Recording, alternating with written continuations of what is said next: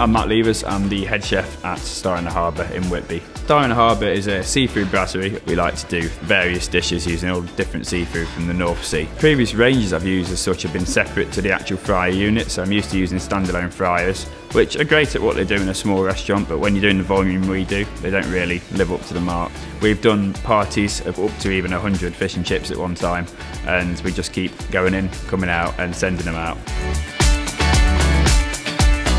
Florigo is definitely a good match for the standards we seek to achieve and we are currently achieving as well. We're looking to improve every single day and having a unit as consistent as the Florigo unit, that helps us do that. I'd say the customers benefit from the Florigo range because at the end of the day, they're getting their food at better quality and quicker.